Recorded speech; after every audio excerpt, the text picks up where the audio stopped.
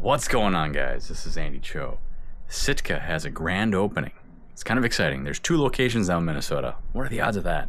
Mall of America, number one, and number two is in Maple Grove. And the actual grand opening at the Maple Grove location is tomorrow. And somehow I got invited to today's pre grand opening for just like 120 people. So I'm excited to go check it out.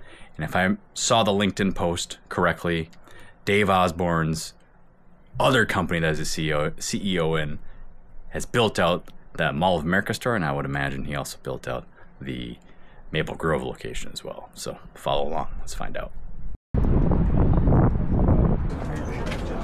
i hate to ask Yes, no problem. Two dollar two dollar buckets, you can't go wrong. This is like this is a ex- lot more than two dollars. Oh, dude, that's way better than two dollars. Food, drinks, this is the life.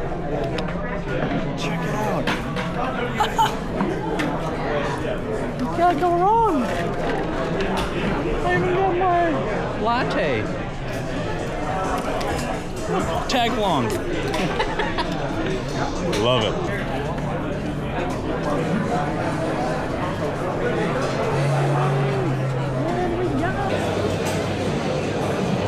Well, that's a wrap.